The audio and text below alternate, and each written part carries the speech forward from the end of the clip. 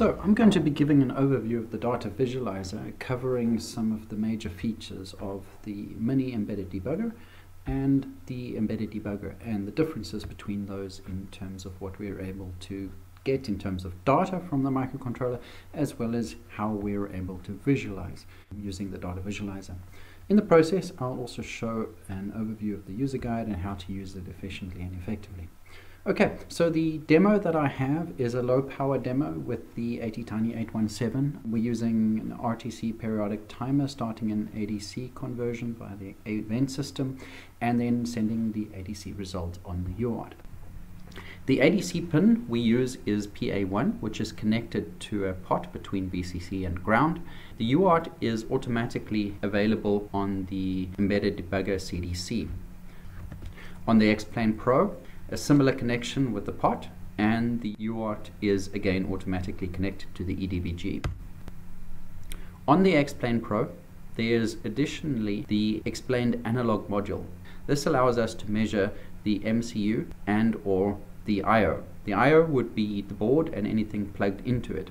So in Studio I'm able to access the data visualizer under the tools menu data visualizer, in which case it opens in Studio.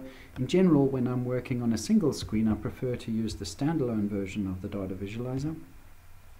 So here I'm still with the mini embedded debugger. And so it's quite normal for this to stay blank here because it's this is the data gateway interface. And you can see that there are two inputs. The one is the serial port and the other is the DGI. So this application runs at 57600 and connecting I can see it opens a terminal and I can see that there are values coming out now if I want to graph let's first click this question mark here and here I get an overview of the major use cases of the data visualizer, um, including power debugging, etc. If I click on visualization, graph F1 here, here I'm more in the context of the specific graph module and I don't need to know too much about it, but I'd like to just see an example of how it's configured. So here I can see that basically once you have something that you're wanting to graph, you drag it into the plot and your data starts flowing. So what I'm wanting to do is double click on the graph and drop my serial port into a plot here. Okay, and then my data starts flowing. Now I'm going to scroll by time and points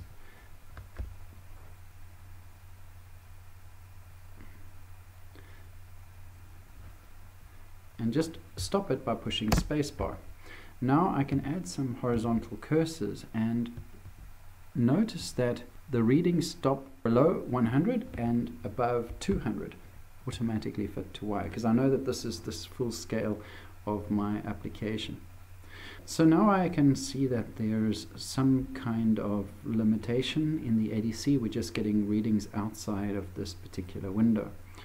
Okay, so now it would be nice to understand the power consumption of the application and maybe some more things about it. But that's all I can really do on the mini embedded debugger. There's a graph and a serial port.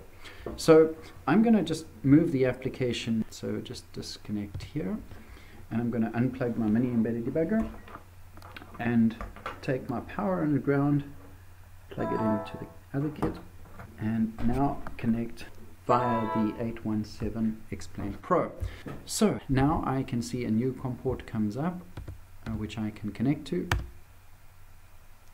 and re-clicking so embedded debugger and programming the part going back to the data visualizer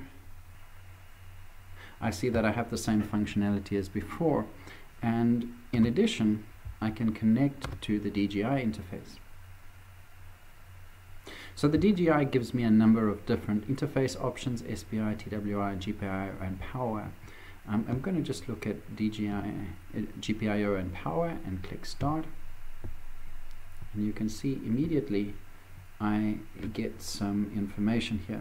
Now I don't actually want my GPIO on this graph, So I'm going to uncheck my GPIO and I'm going to drop a separate graph for my GPIO.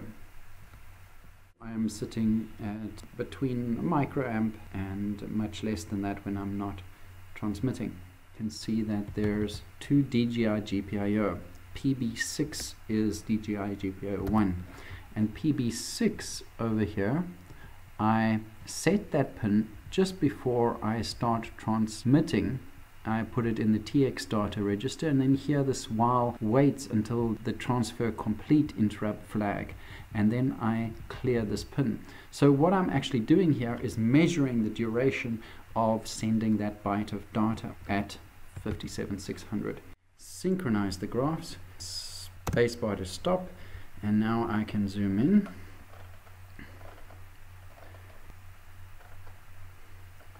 Firstly, you can see that the power spike correlates to sending the data. And if I show cursors here on this graph, I can see that it takes 176 microseconds to send the character and also I can see that this is the bulk of my power consumption.